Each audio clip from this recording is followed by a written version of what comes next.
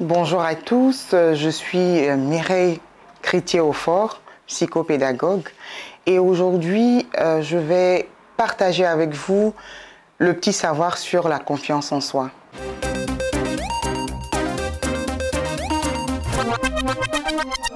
La confiance en soi, c'est vraiment cette capacité c'est cette relation de soi sur soi, sur ses forces, sur ses faiblesses. Donc la première des choses, c'est se connaître soi-même. Et on va mettre en relation avec nos enfants parce qu'aujourd'hui, de plus en plus, on rencontre beaucoup d'enfants qui n'ont pas confiance en eux.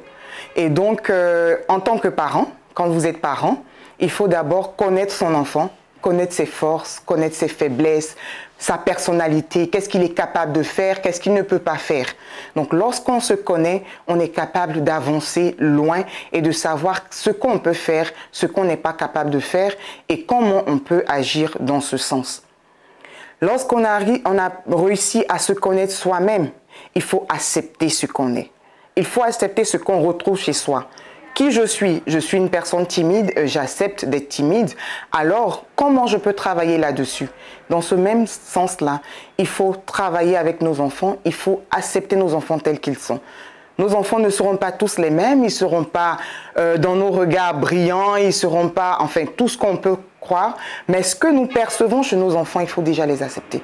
Il faut accepter nos enfants tels qu'ils sont, tels qu'ils se présentent, parce que ce sont des pures merveilles, donc il faut les accepter tels qu'ils sont et les emmener eux aussi à pouvoir s'accepter. Aujourd'hui, on retrouve beaucoup d'enfants peut-être qui mangent beaucoup de gâteaux, qui ont grossi, qui prennent du poids, ou des enfants qui portent des lunettes et n'arrivent pas à s'accepter. Alors c'est à nous de leur dire qu'avec ce qu'ils sont, ils sont beaux, ils sont ce qu'ils sont, et c'est leur personnalité, c'est ce qu'ils sont. C'est à eux de pouvoir montrer aux autres ce qu'ils sont.